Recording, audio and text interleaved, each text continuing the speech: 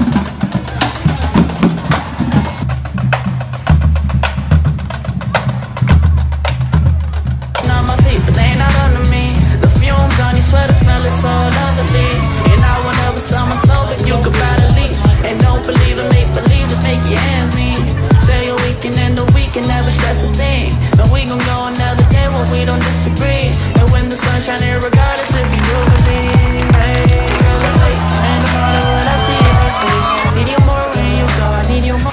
It's kind of cool, but my shoe got wet. I lose all control.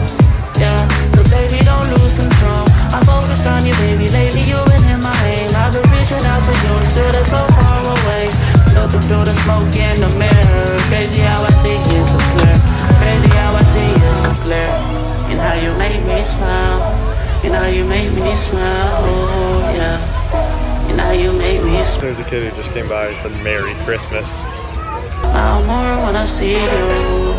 Smile less when I miss you. No, I don't wanna be left alone.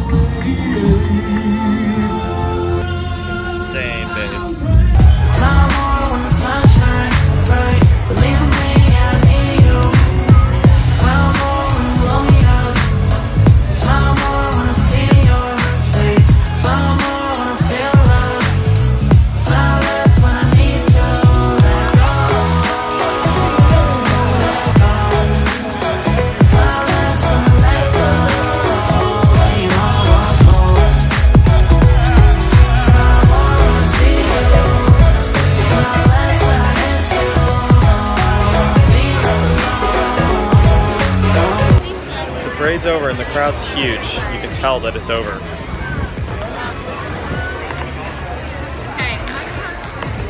Isn't that insane?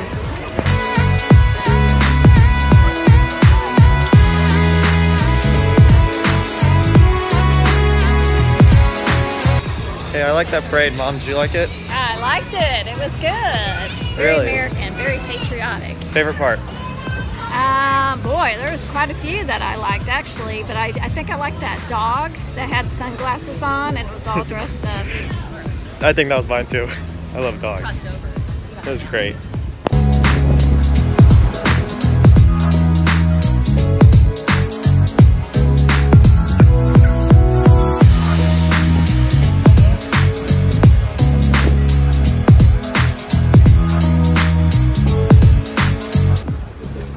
Car shows are always cool. I love them.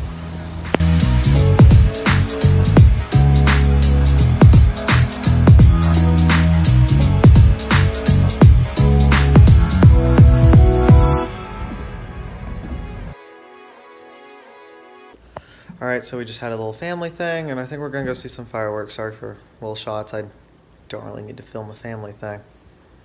We're gonna go do this.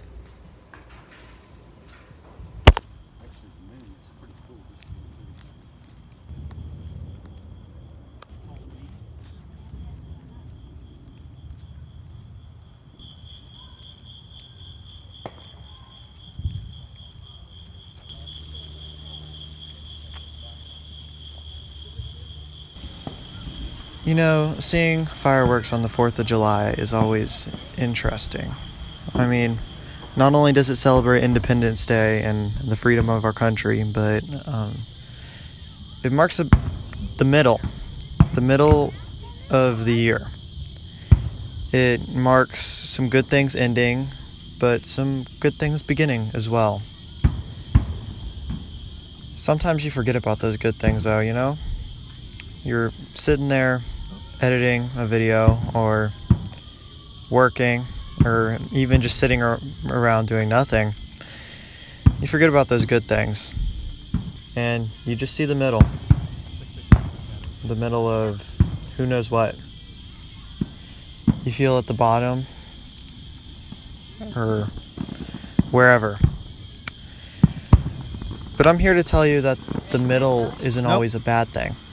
I fully plan The middle can be out. good. You can see the light at the end of the tunnel in the middle. You can see a new beginning, a new hope. What? You can see a lot in What the middle of something.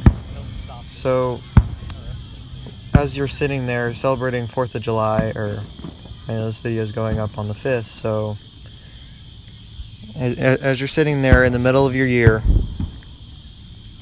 it's not always bad. Sometimes a lot of good can come out of it.